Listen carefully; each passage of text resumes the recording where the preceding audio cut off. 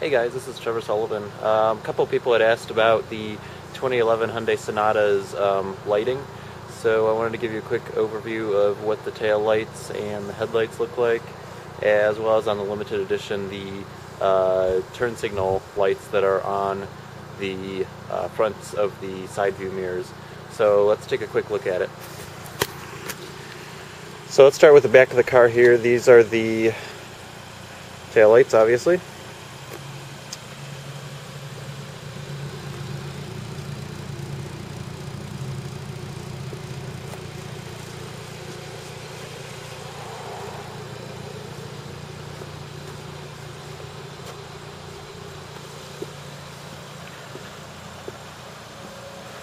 There's a shot of that.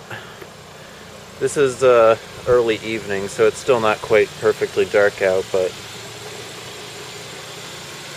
let me uh, put this paper down. And then up here we've got our headlamps.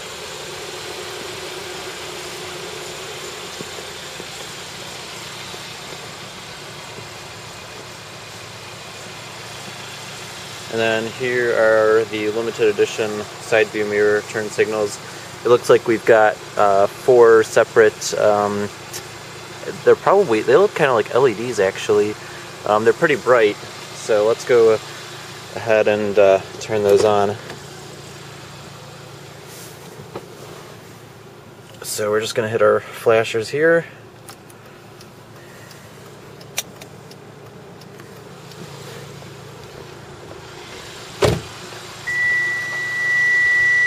So here's what they look like. I don't know if you guys can see, but we actually have, uh, looks like four, or actually five, or six different LEDs, because right here in the side we actually have two LEDs. Um, at least I think they're LEDs, don't quote me on that, but um, that's basically what they look like. They're very bright, uh, very, very visible at night, so people should have no problem seeing them. So there's our front turn signals. Again, these are very bright. These are actually double bulbs in there. And then on the back, our turn signals are just inside the uh, stop lamps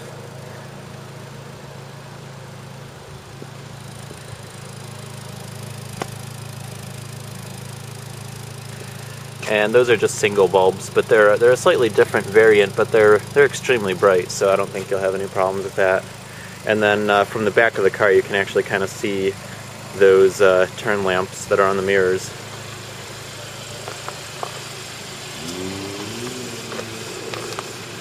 And then one final note on the exterior lighting is that we've got our uh, fog lamps down here.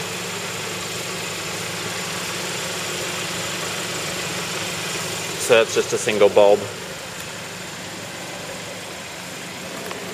And that's a full front view. So, I hope that guy that's given you guys a quick view of the uh, exterior lighting on the 2011 Hyundai Sonata. And if you have any more questions, feel free to post back about it, and I'll see if I can do my best to answer it for you. Um, I know somebody did actually have a question about the um, heated seats if they shut off um, when the car shuts off. And so let's go over that really quick, shall we?